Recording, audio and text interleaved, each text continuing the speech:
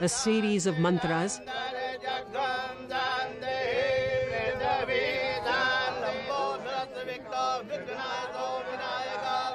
and spectators who are curious but unquestioningly welcome Matthew to their religion. Now he is to be given a new name. Since your name is Matthew, the name should be with Yam. Matthew becomes Mahendra Kumar Sharma. Huh? Mahendra is good. Mahendra is good. Okay. In less than two hours, the Canadian Christian has converted himself into a Hindu. Like all religious festivals, the Kumbh also means different things to different people. For some, it is all about piety. Some come to enjoy the carnival spirit. For others, it's a chance for renewal, trance, and meditation. And many see it as a Woodstockian experience.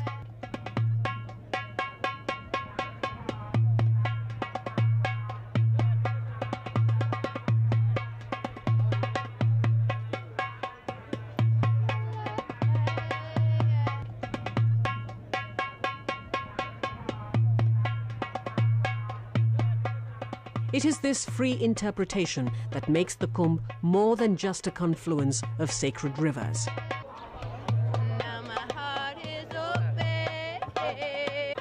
In the coming together of travelers from across India and the world, the Mela in effect becomes a confluence of beliefs, cultures, and philosophies from all over the world.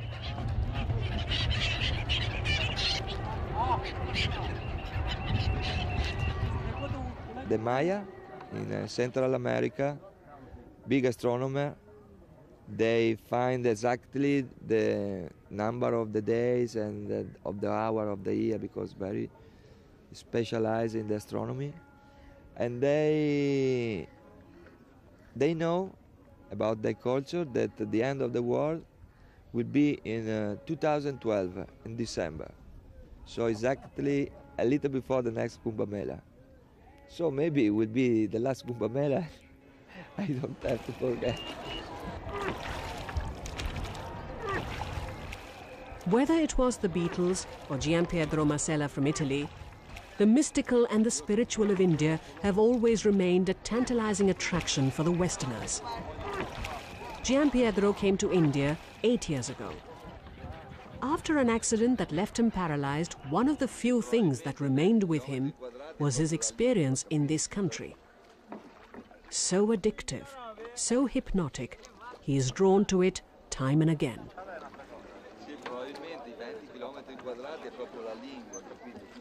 Giampietro has not given up Christianity, yet he respects the power of the Ganges.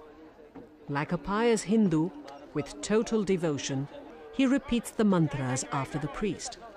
And the priest has no qualms about Giampietro worshipping a Hindu goddess.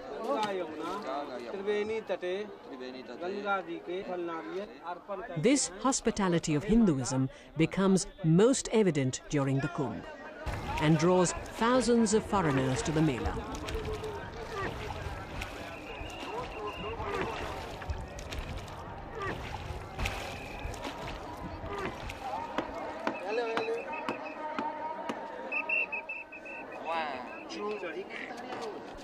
Giampietro's wheelchair is not a handicap. In this atmosphere, where the spirit of camaraderie is overflowing, there are any number of people ready to offer a helping hand. And Giampietro floats along with the crowds, taking in the colors, the sounds, and the rhythms.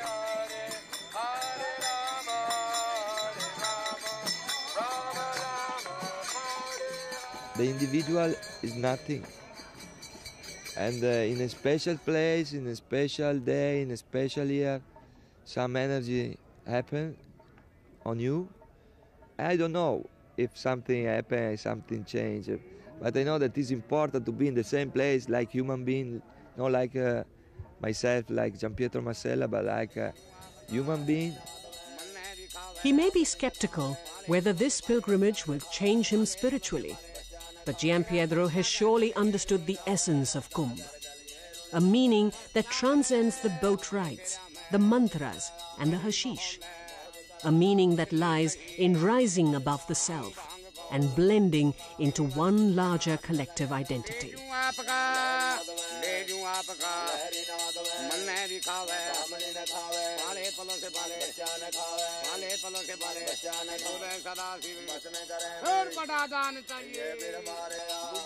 Like other pilgrims, Giampietro too visits the sadhus. To listen to their words of wisdom and share a few drags of hashish.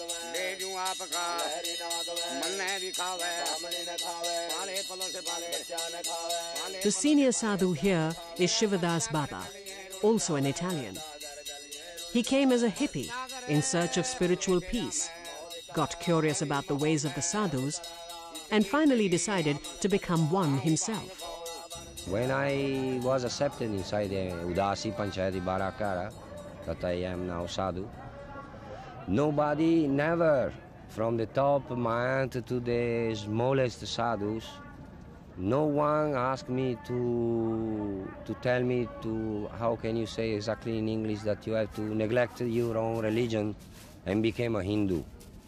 Nobody speak me in this way. They accepted me in that in their akharas they give me I eat with them, they give me love, food, knowledge, everything. In India I am very okay because I have no problem.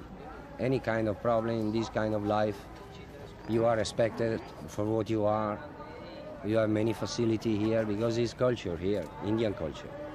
To be sadhu in my country is very hard, very, very hard. Because they don't understand our way, they don't understand long hair, they think I am one like beggar, like one who, who want to live without work. Western mind is different because they don't, they don't know. It's different culture.